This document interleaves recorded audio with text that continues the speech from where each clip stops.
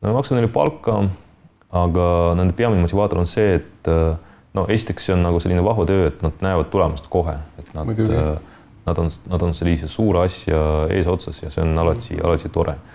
teiseks, nad on meeskonnas, et neil on kaasmõtlejad ka teistest riikidest, see on noh, huvitav töö kindlasti. ja noh, see on väljakutse, et me püüame nagu seda teha selliseks mänguliseks asjaks, et nad, see on nagu arvutimäng, et nad näevad, mida noh, mille nimel nad seda tööd teevad, et äh, neil on sellised äh, achievement'id olemas, konkreetsed ülesanded, konkreetsed, konkreetsete kellaaegadega ja nii edasi. jaa, on see saladus näiteks Läti maajuht, palju ta teenib kuus aastas? suurusjärk, ma ei küsi otse, aga et aru saada natukene. ma arvan, et, et see ei ole väga palju, see on kuskil seal tuhat eurot võib-olla, midagi mm -hmm. üle selle. aga nad on pigem noored inimesed? jah, nad noh, ütleme noh, kuna Läti on meil selline vana riik aastast kaks tuhat viis äkki neli, siis ta on juba nagu meiega vanemaks läinud.